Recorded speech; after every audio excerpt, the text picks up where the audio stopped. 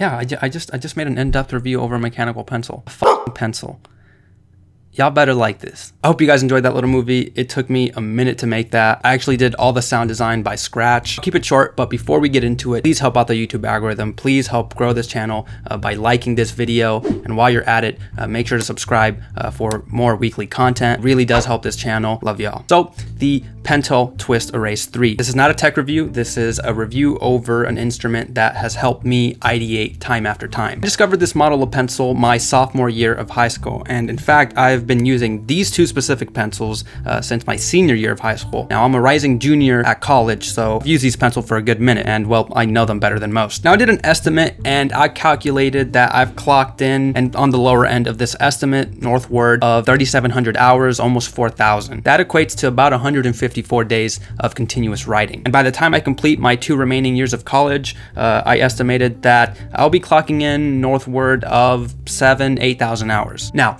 form over function, that's bull in this case. A mechanical pencil should function over and over and over. It should not jam, while also having an ergonomic form. In other words, a well-engineered design. I expect a good pencil to write well and precisely to mitigate hand and finger fatigue, for me to work and for me to not think about this instrument. Now, the most apparent feature that stuck out to me is the material. It ranges from a stainless steel tip to a high density plastic. No matter how much I squeeze it, it doesn't flex, it doesn't crack. I fidget with my pencil a lot. I've dropped this hundreds of times. I've thrown it out of frustration. I've stepped on it. It's good. I abuse my pencil because I know it's gonna work. Maybe it's temperamental issues, but I don't know. And I can count the amount of times this pencil has jammed on me on one hand, about three times. Yeah, the lead delivery mechanism is near perfected, I'd say. And it's not complicated. You actuate from the rear like most conventional mechanical pencils. It has an outer tube on the rear detachable portion that snugly connects to an inner tube where you load in the lead, and that subsequently leads to a metal tube attached to a spring. And there's a washer there to, again, help guide the lead and keep that metal tube from retracting back into the housing, of course. Now above this, the metal tip, let's talk about that. Now one of the most interesting features about this phone is that even if the lead breaks, you can still continue writing. The tip is so heavily reinforced that it allows you to do that. Now I view this as optimized pencil. It's very efficient because I'm not wasting those little broken pieces of lead. And for someone like me who places like a lot of pressure while writing, probably most than more people, it looks like I write like I'm angry. This is a must. Now like I said, I write hard, so I use the 0.9 millimeter variant. It is the best variant. I don't care what you tell me if you're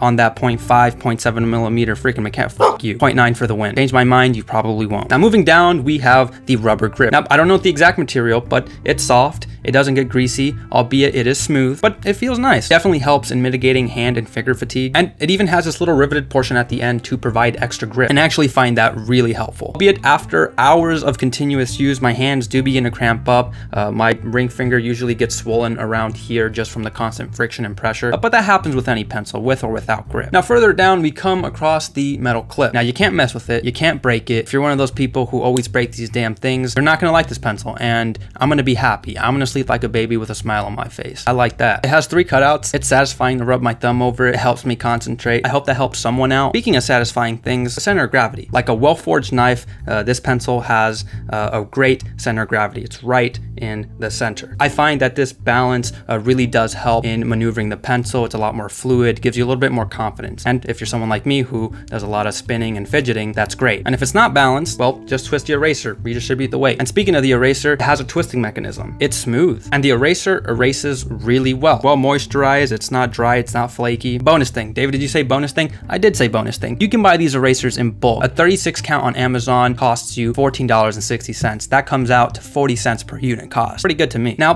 the last topic, my favorite topic, the design. This pencil was designed and manufactured in Japan. And well, it's JDM as fuck. It has that general aesthetic and well, I fuck with it heavy. It looks retro too. I like retro stuff. If you haven't seen the kind of general aesthetic on my channel, this thing's meant for me. Now, if they added gold metal trim to this with a black housing, it's over with. Now, speaking of the trim, the structured tip, it's dense metal. It weighs a lot.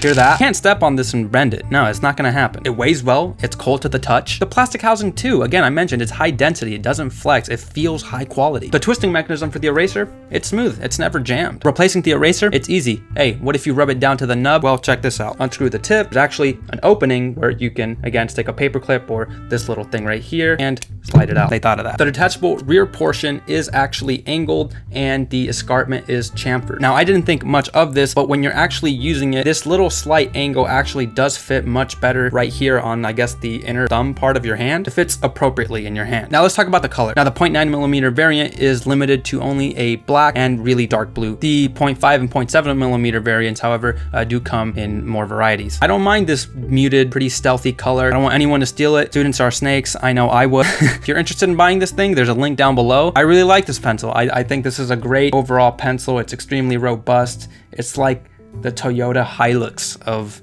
of pencils. It's, it's, it's amazing. Yeah, I, I just I just made an in-depth review over a mechanical pencil. A pencil. Y'all better like this.